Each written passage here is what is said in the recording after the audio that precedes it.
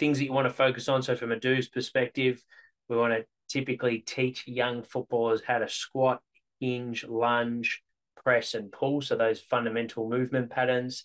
Uh, so, um, not necessarily with load, but just getting them to control their body weight first. So, things like a body weight squat, um, developing uh, stability and foundations, almost like thinking about it forward as if the analogy of like developing a house. We want to have strong beams, strong foundation first. So I like towards, I've got a bias towards um, getting them into once they've got double leg control and they've got good um, uh, movement competency from double leg, progressing them to single leg before increasing the load on their double leg and, and progressively overloading like a box squat. Uh, I would go start with double leg once they've got good confidence, and that might happen in the first session. You progress to something like a single leg split squat. Then on the field, probably more important, we want to make, especially with running based sports, we want to teach them how to sprint.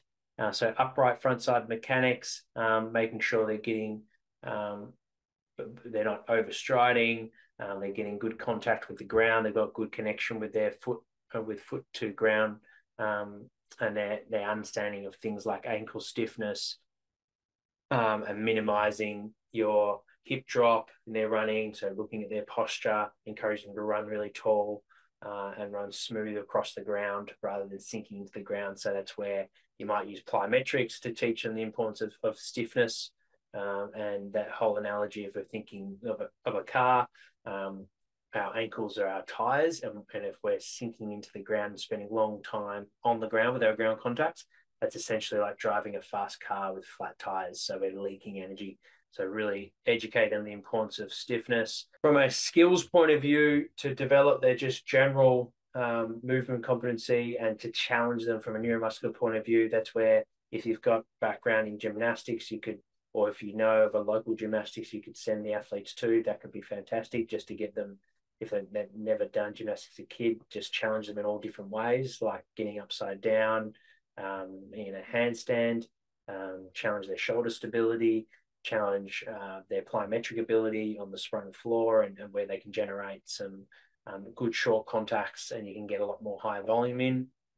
Um, Olympic weightlifting can be a, an engaging way for, for athletes. Uh, and who knows when they, they might get drafted into a program where weightlifting is a is a is a foundation in the in the strength and power program um, so giving them good competency around how to uh, do a clean pull, uh, how to front squat.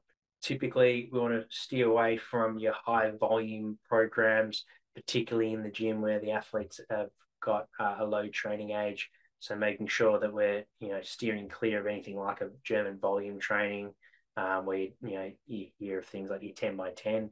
Stick typically to four to five working sets as a max of anything. Um, that you should be getting in plenty of, of progressive overload with do, with doing that.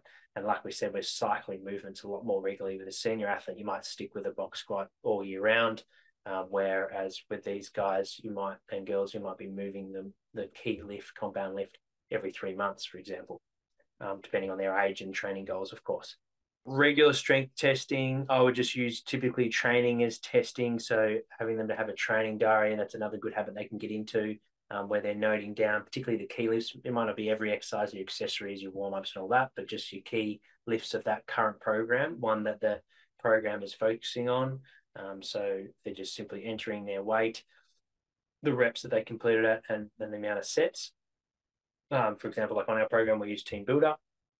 Acts like a training diary, but also you can start to see progress. You can upload videos in there so you can see movement, competency progress, as well as um, their weight um, than they're doing over time. Uh, if you have access to something like GymAware, you could look at the, the speed that they're moving the weight um, as well, uh, if you feel that's necessary. Um, but typically, I wouldn't be doing one rep maxes with uh, athletes under the age of 16.